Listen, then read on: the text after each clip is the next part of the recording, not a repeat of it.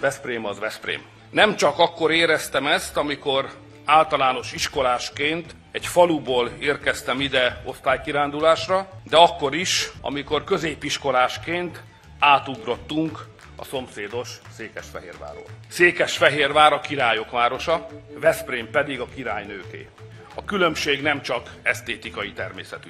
A királya nagyobb, de a saktáblán, meg otthon, világosan kiderül, hogy az igazi ütőerő a királynőnél van. Persze mindenkinek a saját városa az első, de a sóstó laposán elterülő Fehérvár polgáraiként mindig csodálattal bámultuk a dombokra épült Veszprém romantikus látképét és hangulatát. Ilyen elfogult érzelmi előzmények után nem volt csoda, hogy a kormány teljes szívvel támogatta, hogy Veszprém méltó módon legyen Európa kulturális fővárosa. A kormány szinte az utolsó szabad fillérjeit is odaadta Veszprémnek, hiszen egy királynő nem mehet a bálba akármilyen hacukában. 100 milliárd forint körül van az az összeg, amit befektettünk Veszprém városába, és ma, amikor itt lehetek önök között, látom, jól döntöttünk.